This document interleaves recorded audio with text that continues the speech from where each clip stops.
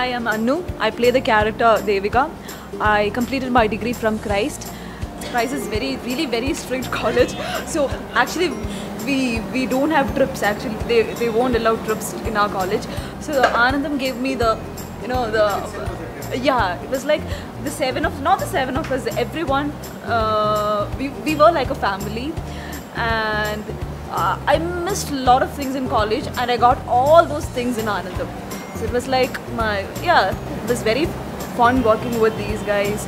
Uh, even you know Ganesh Chettan, we have uh, our executive producer as Boni Chechi. Boni Chechi does everything in the set. She takes care of everyone. She does all kinds of jobs. So it was like uh, these guys are like our teachers. Like we were the students, we'll do something. There are some rules and regulations which we try to break, and these will be like, no, don't do that. Like that. So it was all like a college day. a classroom. Yeah, it was like.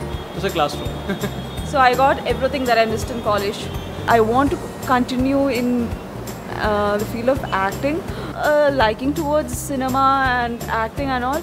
But I never expected in my life that I'll get a chance to act. It was yeah, it was uh, pure luck and coincidence, whatever you call it. I don't know.